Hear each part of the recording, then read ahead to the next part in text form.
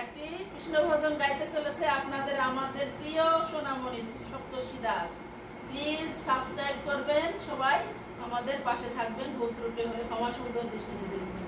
ভালো থাকবেন সবাই।